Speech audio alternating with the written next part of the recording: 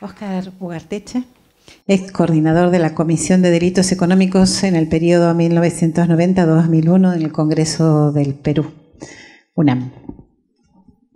Gracias. ahora voy a hablar no como profesor de la UNAM, sino como ex coordinador de esta comisión, este, que la, la jefaturaba un viejo amigo, Javier Descanseco. Primero, agradecer la oportunidad de estar con ustedes aquí en, Buenos Aires, que es la tierra de mis antepasados, además, entonces me siento muy cómodo cuando llego. Están las calles Ugarteche y Posadas, ambas. Me siento en casa. Em, la primera cosa, de lo que voy a hablar, no es de la parte jurídica, porque yo no entiendo la parte jurídica. Lo que voy a hablar es de cómo se produjo el problema de corrupción Em, ¿Aquí? Bien. Quizás, para comenzar, Elliot Associates es una empresa en comandita domiciliada en la ciudad de Nueva York, con facultades para contratar en Nueva York y creada con la finalidad de comprar activos financieros que ellos consideraban, consideran subvaluados y que pueden ser sujetos de cobranzas judiciales. Ese es el objeto de la firma. Esta firma inicia operaciones el año 95, cuando contrata a un hombre que se llama Jay Newman, que había trabajado para Morgan Stanley del año 90 al 93 y antes para Lehman Brothers del 83 al 88 y entre el 88 y el 90 trabajó para Dillon Reed y luego trabajó, creó una cosa que se llamaba The Water Bank. Y él reunía inversionistas para hacer operaciones de esta naturaleza. Cuando Singer lo recluta, lo recluta con el objeto de que compre la deuda de Panamá porque Panamá estaba terminando de hacer su plan Brady. Y él efectivamente compra los papeles de Panamá, me parece que es en octubre del año 95, cuando el plan Brady panameño ya estaba concluido y todavía no estaba firmado. Y ese es un rasgo. Vamos a volver. Hay una doctrina en Nueva York. Ahora tenemos que decir que hubo una doctrina en Nueva York. Pero existió la doctrina hasta hace poco tiempo que se llamaba la doctrina Champerty. La doctrina Champerty establece que ninguna persona natural o jurídica puede comprar documentos de crédito vencidos con la única finalidad de hostigar al deudor para obtener reparación crediticia. Esa es una doctrina jurídica que existió durante como 100 años. Eh, la actuación entonces esencial de Eliot violenta ese principio jurídico. Cuando uno mira los fallos sobre acciones que hizo Eliot, tiene varios fallos en contra violentando el principio Chamberlain. en el caso peruano, se pasaron a la garrocha el tema Champerty y dijeron que ellos no habían comprado la deuda para enjuiciar, sino que habían comprado la deuda para cobrarla. Ahora, ¿cómo cobra sin enjuiciar? No me queda claro.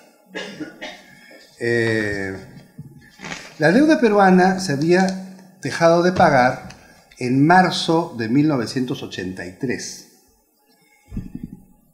Y el plan Brady del Perú se firmó, no se firmó, no, se cerró en marzo de 1996. Fueron, es, el, es el periodo de cesación de pagos de un país más largo de la historia. En ese, claro, hubo una guerra en el camino, sendero, se cayó el PIB 35%, en fin. Y Fujimori pone a la cola el arreglo de la deuda, correctamente, y este arreglo de la deuda, que se hace, es el último plan Brady que se lleva a cabo en el mundo. Y se lleva a cabo cuando todo el mundo ya sabe cómo se hace un plan Brady.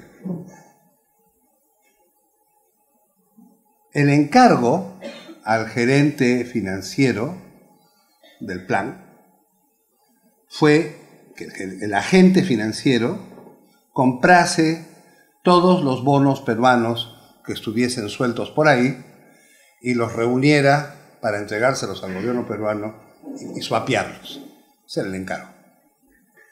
El segundo encargo era lo que usted no pueda comprar, usted me averigua dónde está y yo le mando los papelitos de que nosotros ya vamos a pagar y ellos nos mandan su dirección de correo y su número de cuenta y nosotros canjeamos su viejo papel por el nuevo. Son las dos misiones que tiene.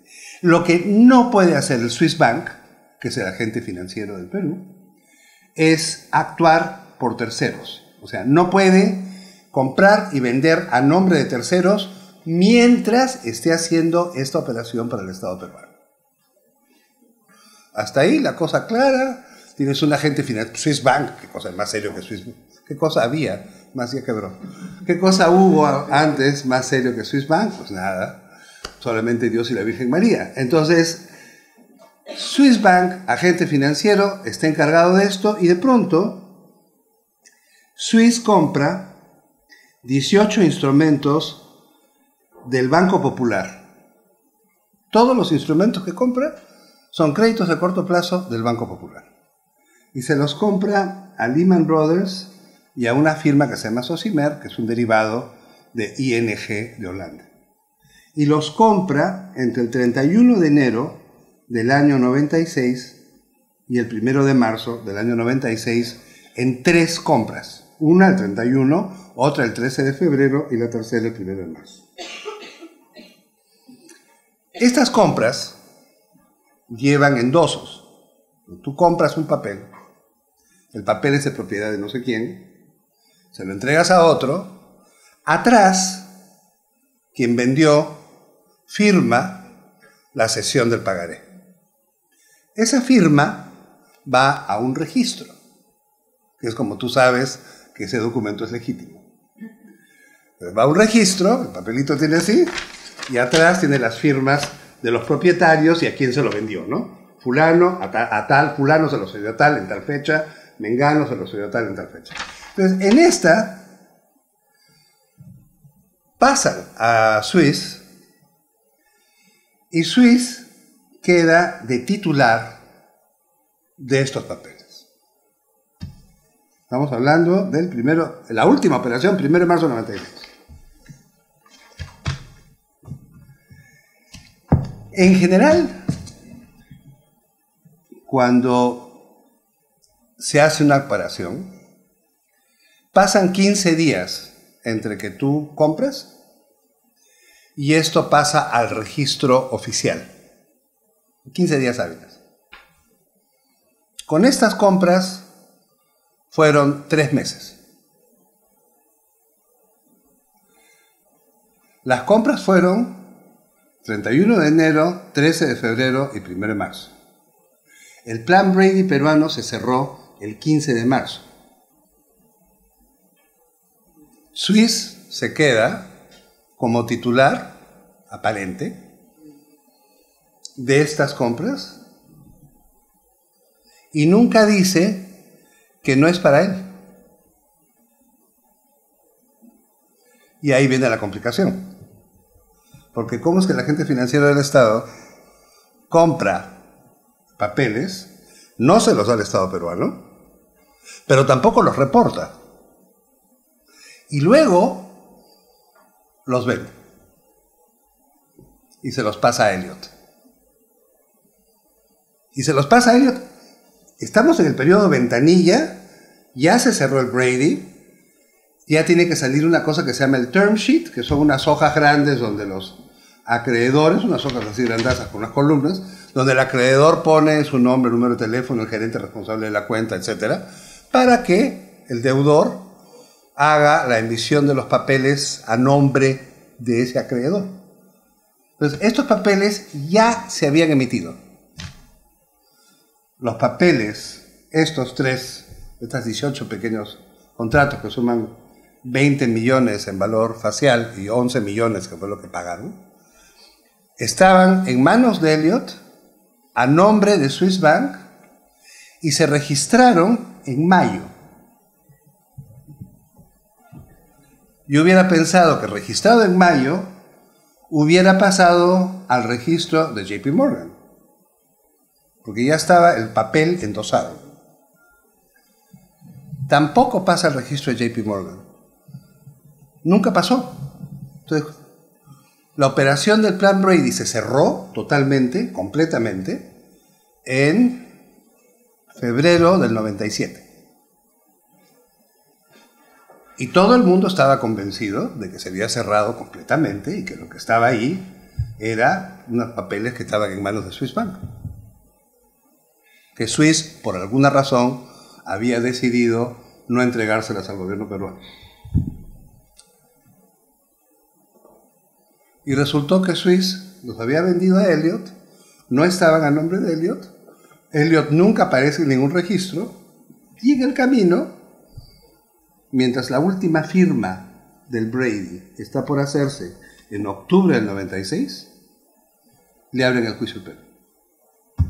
Fue la sorpresa más absoluta por lo que recontaron los funcionarios de crédito público, fue la sorpresa más absoluta. O sea, ellos habían hecho una operación que estaba cerrada, que estaba redonda, que estaba clarísimo quién era cuál y dónde estaba, y de repente apareció este, pero además el monto era ridículo. O sea, estás hablando de 20 millones de dólares en facial, comprado entre gallos y medianoche con un registro escondido.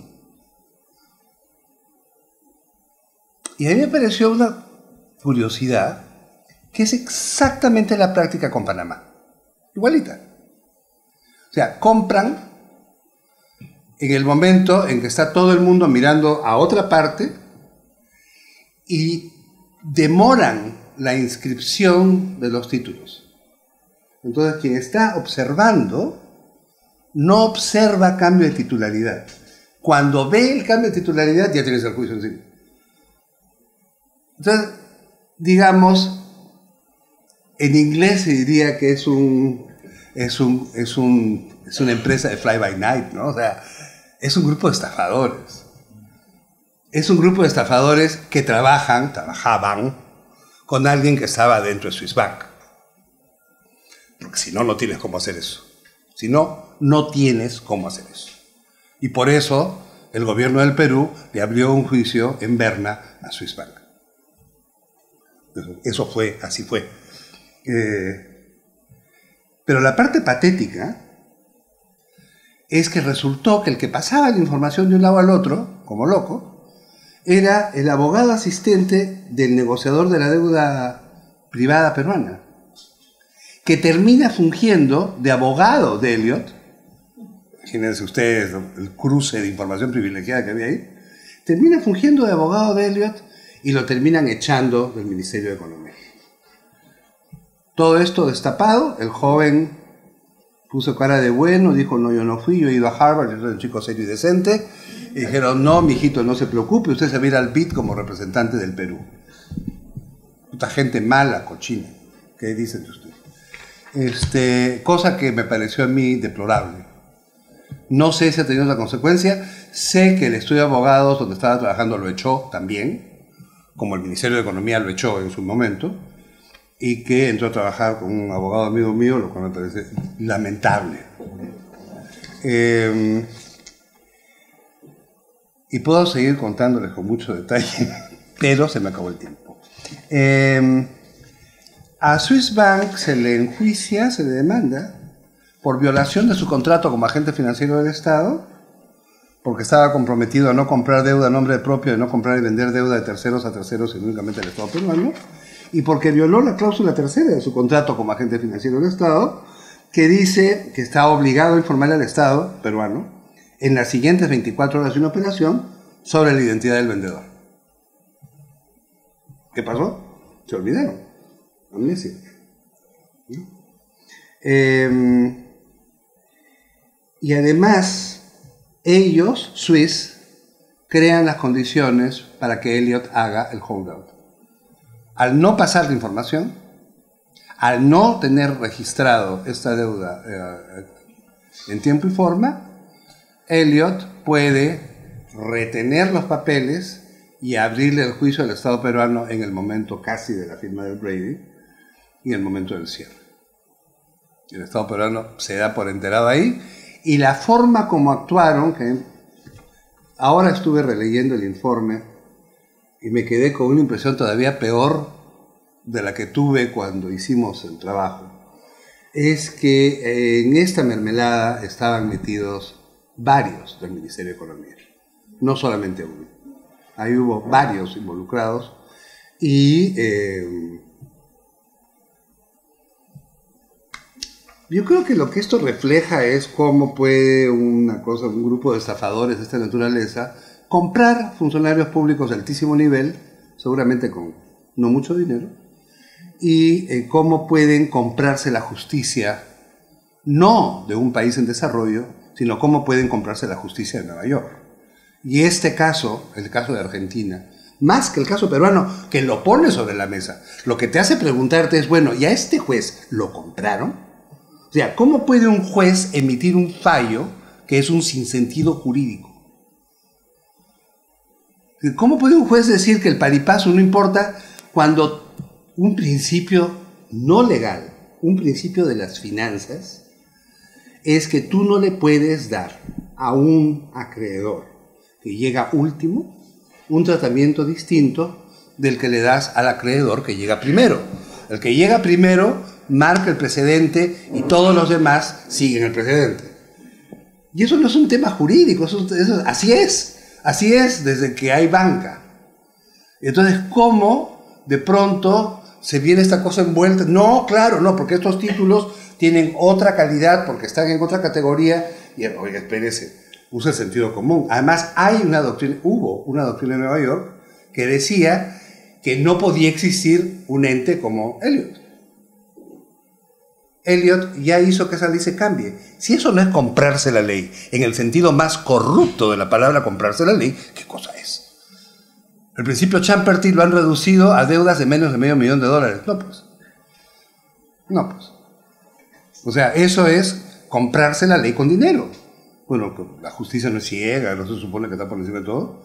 Y no se supone que las cortes de Nueva York nos dan a todos la garantía, o se le dan por lo menos a los banqueros. Ahora resulta que las cortes de Nueva York no le dan la garantía ni siquiera a los banqueros. Lo cual nos lleva a lo que decía Carlos. Ahora tenemos que pensar cómo queremos tener un sistema internacional al futuro, donde tengamos un tribunal internacional de arbitraje con un derecho internacional financiero organizado por Naciones Unidas o por quien sea, pero algo que sea como un citral, digo yo, en mi ignorancia digo cualquier cosa. Pero creo que es necesario tener un sistema jurídico que sea internacional propiamente, con tribunales que sean propiamente internacionales y que eviten la labilidad que hemos visto en las cortes neoyorquinas en todos los casos vinculados a él. Gracias. Muchísimas gracias.